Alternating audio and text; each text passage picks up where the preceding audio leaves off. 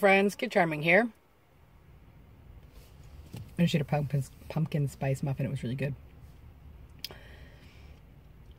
Yeah, wearing my contacts today.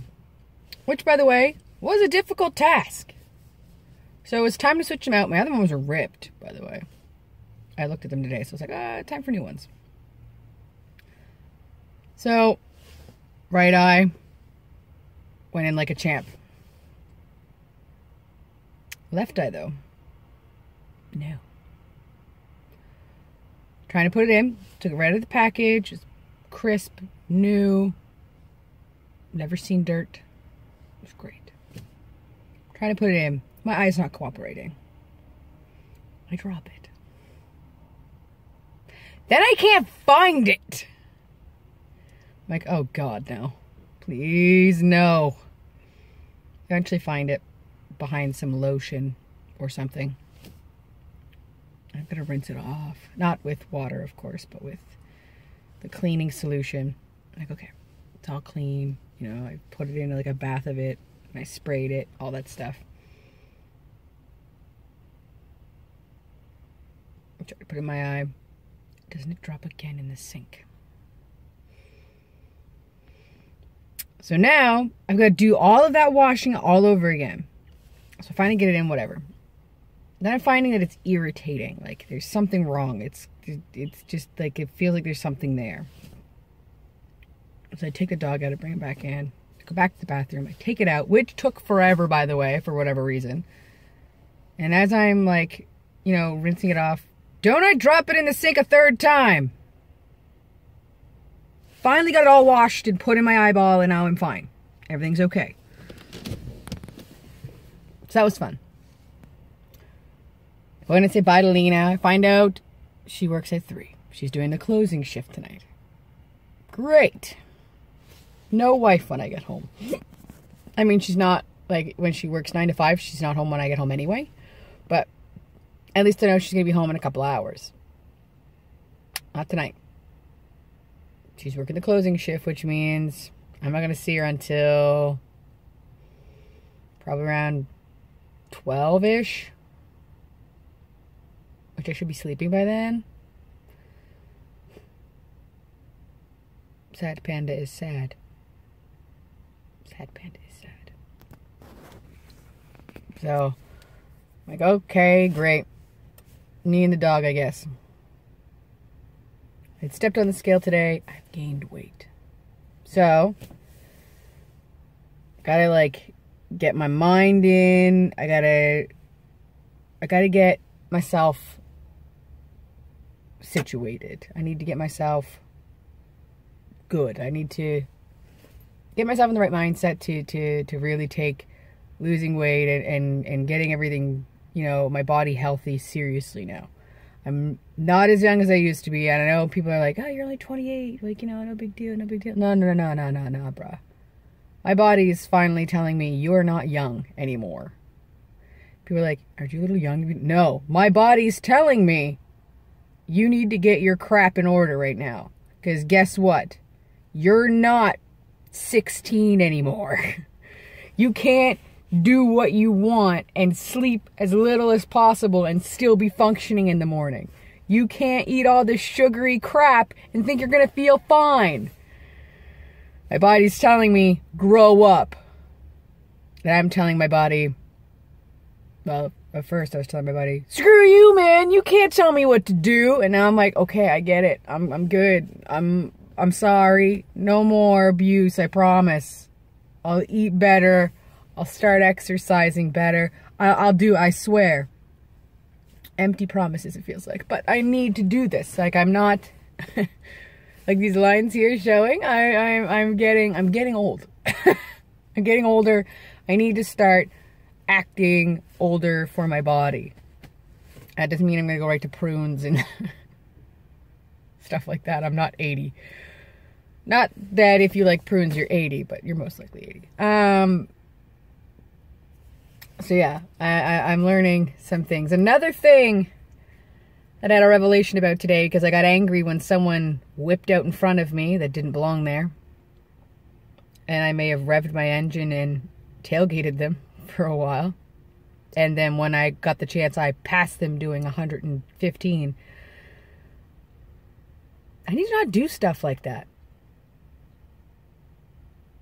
Now, I will be 100% honest with you. This revelation that I'm about to express to you that I want to follow, by the time I record the second part of this, I might have forgotten it completely. And that happens to me a lot.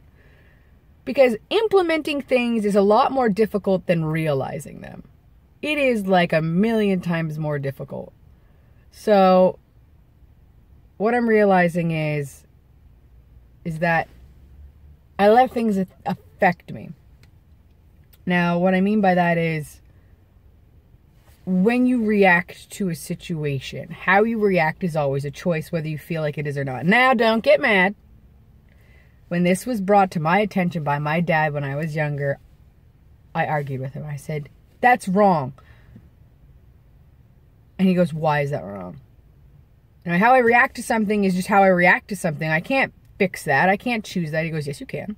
Just stop and think for a second don't let yourself immediately react. It's going to take a while to do stuff like that, like to get that in to practice, but don't just react to things. Let it sink in for a second and then choose what you do. It's true. Everything in life is a choice. How I react to people being jerks on the road is up to me. They don't they don't, I can't blame them for how I'm reacting. I can't really, because it's a choice to react the way I did. Because some days when things like that happen, I'm fine. And I'm like, you know what? Fine, whatever. But my mood, it, it depends, right? Like, whatever mood you're in, that's how you're going to react. And so you can't let your mood determine how you react to certain situations. You can just not react don't do it. Don't let it affect you. People are being jerks to you. Brush it off. Don't let it affect you. Now that's easier said than done, of course, because, come on. Who's just going to let things like that happen? It's going to be difficult. I react to things sometimes very intensely, like when I rant about jerks on the road. But what I do is all on me, as my choice. I didn't have to, but I did. I'm going to try not to react to things and think about them before I do anything about it. You need to act, not react. React meaning something happens, you immediately do something, knee jerk reaction acting on something would be to stop, think, and decide what to do from there.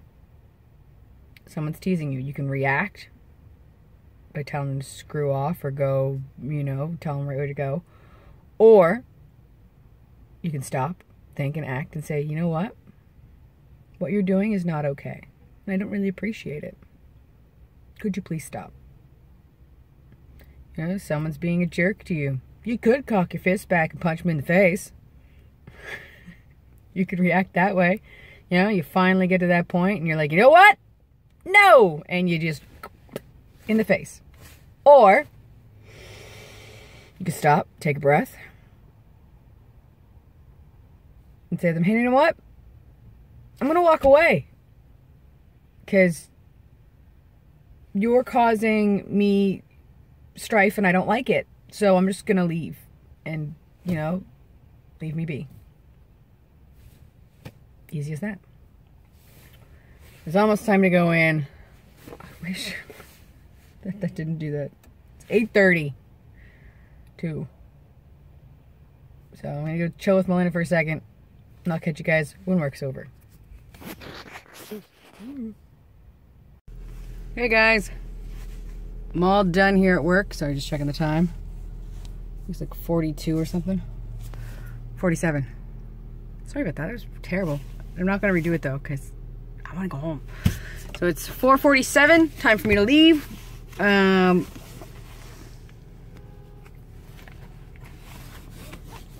I'm excited for the long weekend, that's for sure. Uh, going over to Danny's later, my buddy Danny's house later. Um, my friend Belinda might be coming with me. Don't know yet. Um, I'm bringing a game, some Boulder Dash. Um, but yeah, Lena's working late, so I got nothing to do, so why not, right? So I'll catch you guys when I get home. I'm home. I actually got home at 5.20, so it took me about 30 minutes to get home, basically. I should have had to go to the bathroom when I got home. Uh, like a lot. Um, oh my gosh, I'm tired.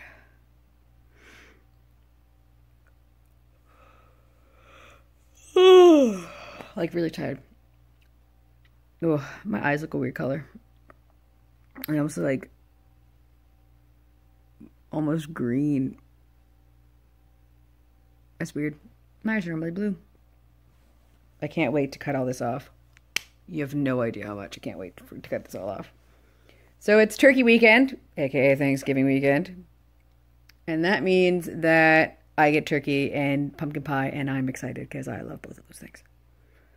Those are like my favorite things. These are a few of my favorite things. When the dog bites, when the bees sting, when I'm feeling sad. I simply remember my favorite things and then I don't feel so bad. That's how turkey and pumpkin pie make me feel. They make me feel like Julie Andrews when, you know, back in the day, before they messed her voice up when they did that operation. They took away something amazing from humanity that day. I guess when she was like, when she did um, The Princess Diaries 2, it was the first time she ever sang and was recorded singing since they screwed up. So, for those of you who don't know, uh, Julie Andrews, so the one who was in like um, The Sound of Music and um, Mary Poppins and stuff like that, uh, she had, if you haven't seen this movie, what's wrong with you? Two, um, her voice is gorgeous, just absolutely phenomenal. Like, just classic, so classic. It's just, it makes you love your, like, it makes you love everything. Like, it's, it's amazing. It's an amazing voice. It's just the best, okay? Um, she ended up with nodes on her vocal cords, which I also have nodes on my vocal cords which can cause you to like sound different and it makes it difficult to sing and stuff like that. And by difficult to sing, I mean it like it reduces your range because those nodes will rub and and cause a different sound to kind of come out. It's it's hard to really explain. Um, so she had them removed. Well, dude screwed up and removed basically her ability to sing. He scarred her vocal cords he scarred them in a way that made it difficult for her to sing. Like she could not sing anymore. Well, kind of. She can sing, but not nearly as well as she used to. She has very, very short range and not as much power in her voice as she used to have. Because I don't think if she let, if she tried to do a more powerful, uh, like vocal, it would probably, um, because your, your vocal cords, they vibrate, which causes sound. It would probably cause it to vibrate in a way like in a weird way and then and then cause it to not work. Um, so if you've seen Princess Diaries 2, you've probably seen that she sings in that in that um, in that movie. And that's the first time she sang on film um, since uh, the uh, the operation on her vocal cords. Um, and you could tell that it was not it was it was it, it's not it's no sound of music. It's no Mary Poppins. Like you know, no spoonful of sugar here. No, the hills are alive. You know what I mean? Like it was very like you could tell like it did not sound anywhere near like she used to. And it's not just because she got older. Um, it's because of this that happened. Um, I remember when I found out that that was a thing. I'm like, oh, why doesn't Julie Andrews sing in her movies anymore? You know, I got a little curious because I was watching a lot of, uh, you know, Mary Poppins my nieces were obsessed with with Mary Poppins and Chitty Chitty Bang Bang. She's not in Chitty Chitty Bang Bang, but she is in Mary Poppins. We had to like switch them from Mary Poppins to something else. It turned out to be Chitty Chitty Bang Bang, which then I ended up not liking a lot either because then it was just obsessively watching Chitty Chitty Bang Bang as well, but off topic. Um, uh, but Dick Van Dyke's in that one as well. Just saying. Um, You know, the whole, uh, I shot an elephant in my pajamas, how he got my pajamas, I'll never know. That's from that movie, I'm pretty sure. Or I just quoted a movie that was totally different. Um, but yes, so back to Julie Andrews. So she did it in one take um, for Princess Diaries 2. Everybody was in tears. Literally everybody was in tears. Because one, they knew how powerful this moment really was. Like, imagine being able to do something so well. Like, you were amazing at this thing. Like, nobody. Now, I'm not saying that nobody can sing better than Julie Andrews. That's not what I'm trying to say. But I'm saying, like, you, you are known for this one thing. And Julie Andrews was known for not just her wonderful acting, she's a wonderful actress. She was not just known for that, but she was known for her voice. Hence why she was in musicals like The Sound of Music and uh, Mary Poppins. She was in more, but I just can't remember them right now. Those are just the two big ones that I remember. So imagine you are, that is what you're known for. You are known for singing and your amazing acting. Something happens to one of those things, your voice. Uh, or let's say let's say you're good at drawing. Okay? You're magnificent at it. You you are you are known for your art. Go in because I don't know. Uh you got something wrong with your skin on your hand. I don't know. I'm just kind of like just trying to figure something out. And the doctor says, "Oh, well, I have to do this to, to, to fix it. They give you a cream. They give you the wrong cream. You end up having some weird reaction to it. It starts eating away at the flesh of your hand, so they have to operate. While they're in there, they screw up and, like, I don't know, mess with, like, the nerves and tendons or something in your hand, and you're now screwed. You cannot draw anymore. Like, you can't do it. You try and you try, and it's not working. And so you just continue to try to hone that skill. And then, like, I don't know, 20 years later, you show somebody a piece of artwork that you've done recently and they just start to bawl. Because it's beautiful. Not as great as what you used to do, but it's still the most beautiful thing that you've done in recent years. Like, can you imagine that? Can you imagine being like really good at something and then someone screwing up something and therefore taking away that amazing talent from you? I'd be mad, man. I'd be more than mad. I would be devastated. Absolutely devastated. And I'm pretty sure Julie Andrews was super devastated too because she had a gift, man. She had a real gift. She was, she she still is super talented. She is still an amazing actress. She's very well respected in, in in like the acting community and whatnot. But I think if I ever met her, I would not just cry because yeah, I'm meeting Julie Andrews, like, holy crap. It'd be like meeting Meryl Streep, like, for real. Like, you meet these people and you're like, oh my gosh. Like, if I did that, I would not only cry because I was meeting a, you know, someone who I look up to. Basically, nobody, I'm admitting this for like the first time how um, I kind of look up to Julie Andrews a little bit, uh, just because she's a, a, magnificent person, but also because of, of what happened to her.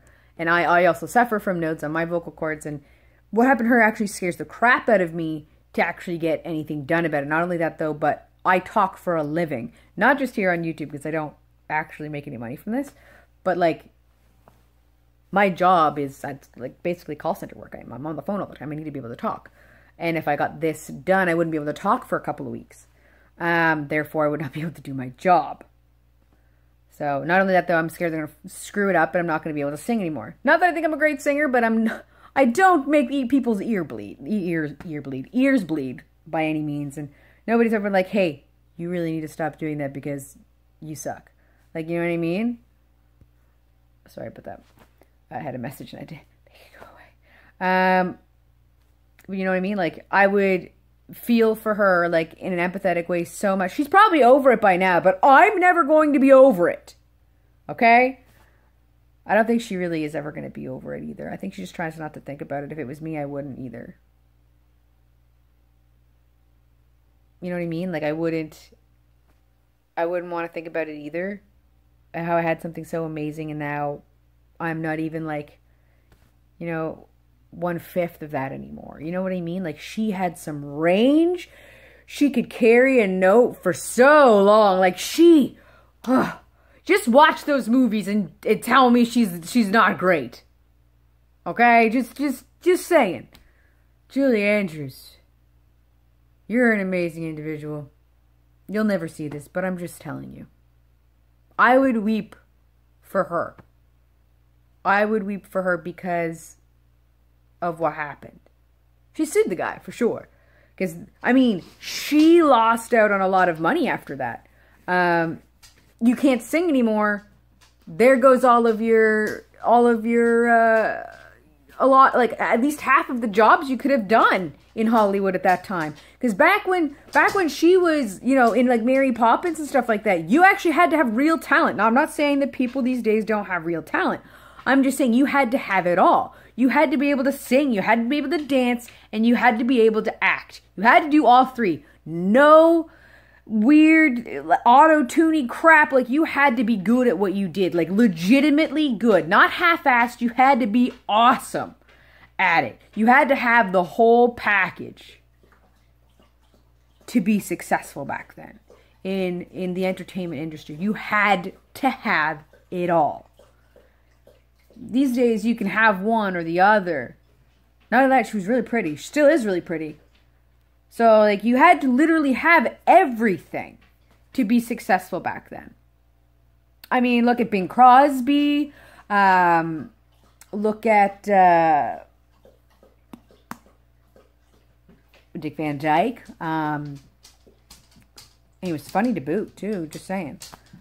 Like, it was just, you had to be, you had to have it all. Yep. And when you didn't, you didn't have as much work. Makes me upset. What? I can't think about it anymore because all I'm thinking about is how would things have been different if that had never happened? Like if she had never had that happen to her, what else could have been better with her in it? But I can't think like that. Because one, it disrespects people that actually did those jobs. Which I don't mean to do, I'm just saying I fangirl over Julie Andrews. It just happens. How could you not? She's like simply perfect in every way. uh, anyway, now that I've done my rant on that, I'm gonna, I'm gonna end today's video with a rant about Julie Andrews and how amazing I think she is. Um, so you guys have yourself a great rest of your day. I don't know if I'll be doing anything. I'm going to the corn maze tomorrow. Maybe I'll video. Maybe I'll shoot a little bit of video while I'm in the corn maze tomorrow with Lena. Um, if weather permitting, because it's kind of gross out there right now. But yeah, I'll catch you guys later. Keep charming out.